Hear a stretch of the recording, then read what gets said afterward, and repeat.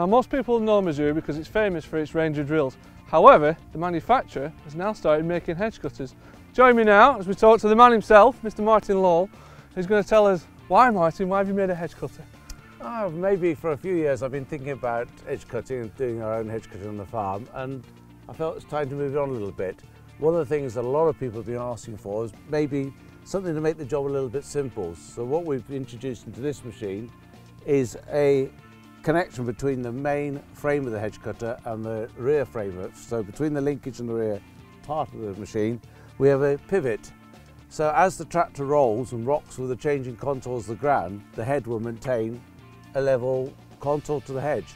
So it's an assistant to the pilot as such. So you've essentially got an automatic levelling system Correct, yeah. which works independently of the ground. Absolutely. So it can make me look good, hopefully. Oh, well, that's Hopefully. the kind of thing. It's made my hedge could look better, better than perhaps it would have been.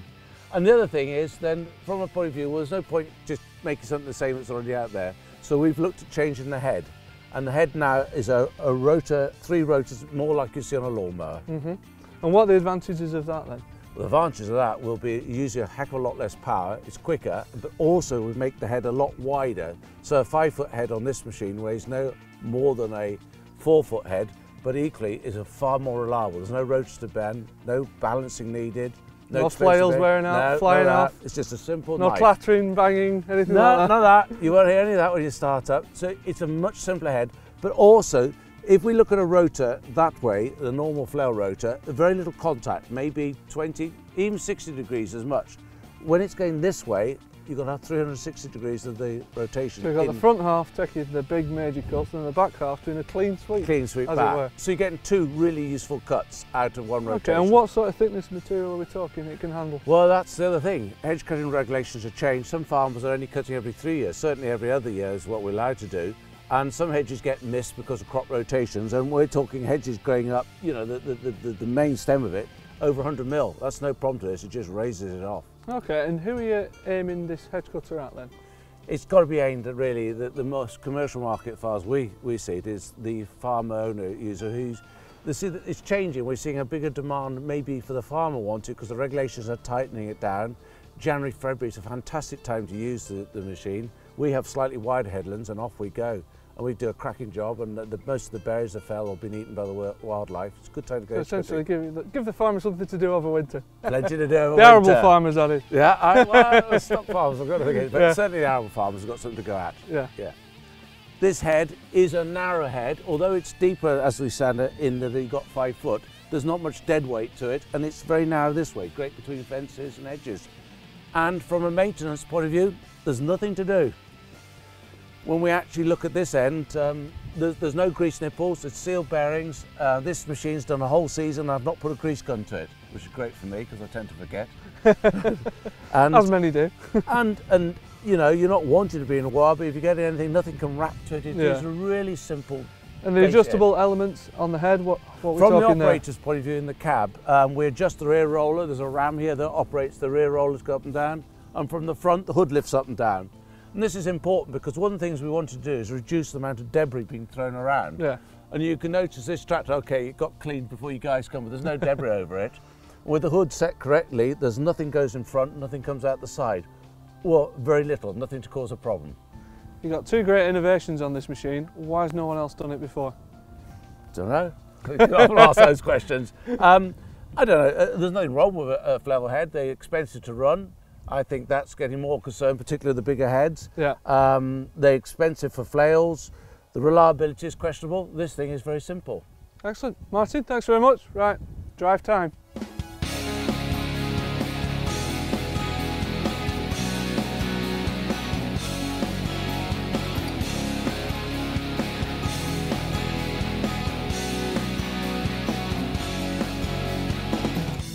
So as you can see now, we're in the field trying out the new Mzuri Razorback hedge cutter. For a start off, what a cool name for a hedge cutter, a Razorback. Sounds like it means business, and as you can see, it does mean business. Got about two years growth on this hedge here, which at 1100 revs from the tractor, powering a twin pump on the uh, hedge cutter, which is a one pump for the, all the controls and hydraulics, one pump for the uh, head. It is managing that really, really well. We're told it will handle material up to about 50 millimeter, well, no, four or five inches in diameter, which looking at the uh, the rotors on it, we can well believe. Control-wise, they're pretty self-explanatory. This isn't the final uh, solution that the company will be uh, providing when it goes into full production. This is purely a pre-production uh, control box, but it's got everything you need on it. Very simple. The primary controls that I'm using, obviously, this joystick, which can control four services. We've also got forwards and backwards for the main lift up and down, side to side, which sends the boom in and out. And then give it a twist, and then that's your uh, your rotor head action. Controls are quite sensitive. They take a little bit of getting used to, but so does everything. But I tell you what, once you're used to it, it is very nice to use. Not quite sure how heavy the hedge cutter is, but on this uh, 6480 Massey Ferguson, it does seem quite well balanced. Like I said, it's using hardly any revs at all, which should be good for the fuel use. As you can see, we're just doing the sides now of this hedge, and the finish is pretty decent. In fact, let's go up a couple of gears to see what happens. Now, I'm not demonstrated too much in this field because we're on a pretty level playing field, as it were. Is the new auto level system on this machine which is uh, the first in the industry, and it's it's really hard to imagine why no one has done an automatic level system before. Right now I've got it turned on. It's uh, hard to tell it's doing anything, but it is. You can just feel it and see it. Looking on the spirit level at the back of the machine, it is just doing its little thing there as I go up and down the odd ridge here and there. It just takes away, you know, that extra effort and input that you normally need to do when you're hedge cutting. Again, just making the job a lot easier and a lot more comfortable to do. And if you were doing this many, many hours of the day, I think you'd be thankful for this new auto level system, or co-pilot as they call it. As the name suggests, it's a bit like having someone else just controlling the, the level for you, rather than you having to constantly do it.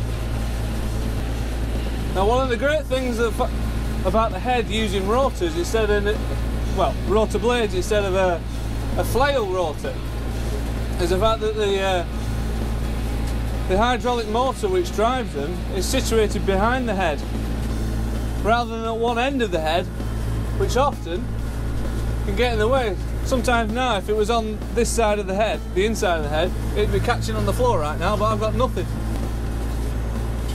I don't know if you can tell if it's picking up on my mic or not, but it's very smooth running. Often with a, a flail rotary head, all you can hear is clatters and bangs. I mean, it depends what kind of material you're cutting into. But this, you know, there's no vibration on the head whatsoever, which should make running costs a little bit easier. You're not going to have to get your rotor rebalanced every, uh, every so often. Plus, you've got no flails to replace, you've just got big solid blades, which should, hopefully, last quite a while. That is yet to be found out. Overall then, I think definitely hats off to Mzuri for what they've created here. They've literally addressed two major issues with edge cutters, which for some unknown reason haven't been addressed before. You've got number one, which is an auto leveling system, which really does just take a little bit of effort out of the job and can uh, almost turn an average operator, like myself, into a half decent one.